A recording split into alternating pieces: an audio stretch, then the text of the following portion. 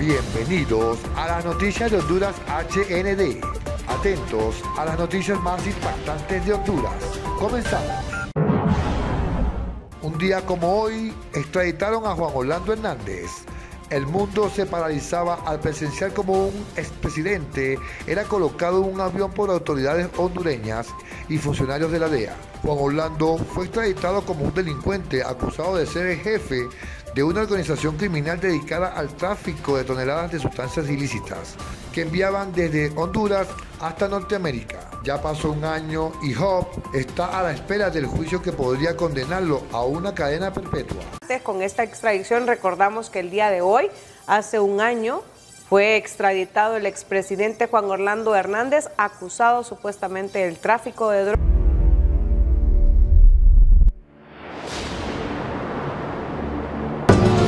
Considera que es procedente declarar la extradición del ciudadano hondureño Juan Orlando Hernández Alvarado. Hay retenes policiales, son 800 los efectivos de la Policía Nacional y de las Fuerzas Armadas.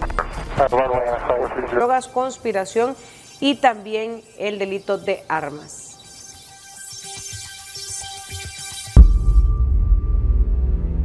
La aeronave, una King Air que ha volado desde Fort Lauderdale hasta la capital hondureña, se encuentra en el carretaje correspondiente en el aeropuerto internacional de Toncontín. Es cuestión de minutos. Ya se viene, viene el presidente, última hora. Sale el presidente Juan Orlando Hernández. El presidente Juan Orlando Hernández extraditado.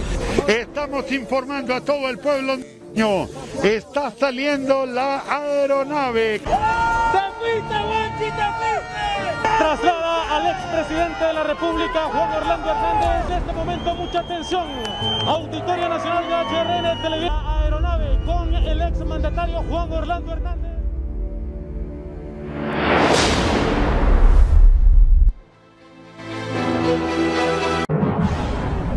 El Tigre Bonilla ha sido desvinculado del delito de asesinato. El dictamen fue pronunciado por la Fiscalía del Distrito Sur de Nueva York. Eso significa que la justicia estadounidense ha minimizado los cargos que enfrentará el Tigre Juan Carlos Bonilla. La pregunta es la siguiente, ¿será el Tigre Bonilla que está entregando a Juan Orlando Hernández y por eso el gobierno de los Estados Unidos le está dando beneficios? Todo es posible de cara al juicio de Hall, que se llevará a cabo en septiembre de 2023. Le damos a conocer una noticia que tiene que ver con el señor Juan Carlos el Tigre Bonilla, porque las autoridades de la Corte del Distrito Sur en Nueva York, la Fiscalía, han anunciado que el señor Juan Carlos el Tigre Bonilla, exdirector de la Policía Nacional de Honduras, ha sido desvinculado del delito de asesinatos por el que le acusaba el gobierno de los Estados Unidos. Esto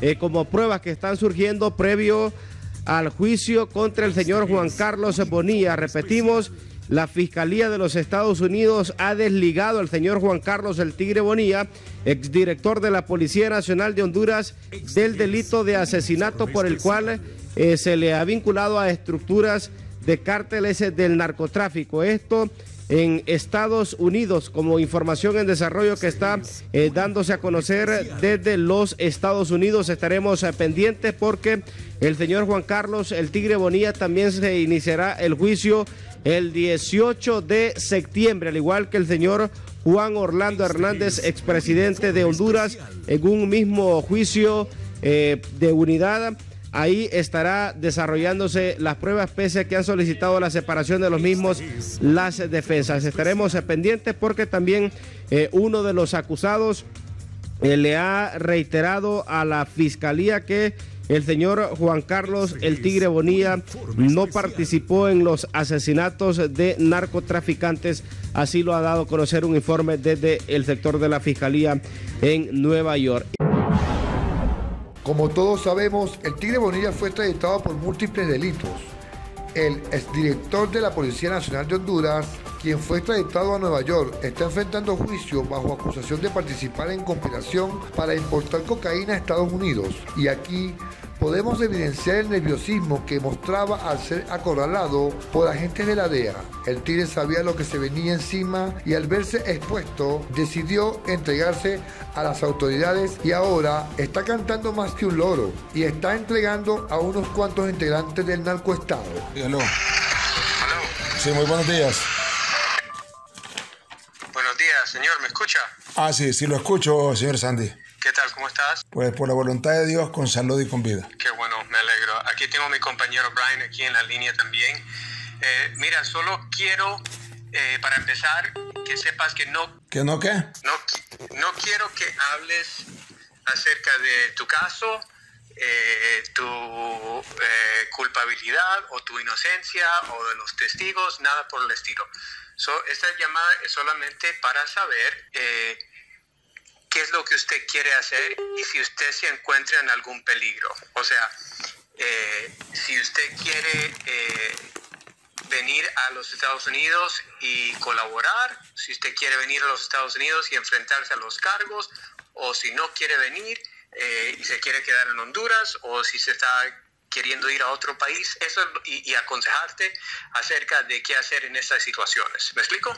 Bueno, yo, yo creo que una de las cosas que ustedes están tratando, usted no se le olvide que está hablando con un general de la nación. No está hablando con un delincuente, ni está hablando tampoco con una persona que es culpable. ¿Me entiende? Usted está con, con Bray, allí y Bray lo tengo identificado como uno de los conspiradores, justamente con una persona de acá. Y yo no, no puedo estar hablando o contrarrestando mentiras, una conspiración que la han construido. Luego de que la esposa del expresidente Juan Orlando Hernández expresara lo acontecido hace un año, solo le queda esperar a lo que sucederá en esta nueva audiencia este 24 de abril en la Corte Sur de Nueva York, donde el juez Kevin Castell procederá a dar un veredicto para el juicio de septiembre, donde dictará la sentencia a Juan Orlando Hernández, conocido como Job, el patrón de Honduras. Hace un año, mi familia y yo, junto a millones de hondureños, vimos la forma en que mi esposo Juan Orlando fue tratado el día que fue entregado a las autoridades de Estados Unidos. Lo que siguió después fue todavía más terrible. Hoy, a un año de que él está cautivo siendo inocente en una prisión en Estados Unidos, como familia, cada día nos recordamos las promesas de Dios y confiamos en Él. Y recordamos aquella palabra que está en el Salmo 23 que dice, el Señor es mi pastor, nada me faltará. En lugares de delicados pastos nos hará descansar. Junto a aguas de reposo nos pastoreará. Confortará nuestra alma, nos guiará por sendas de justicia.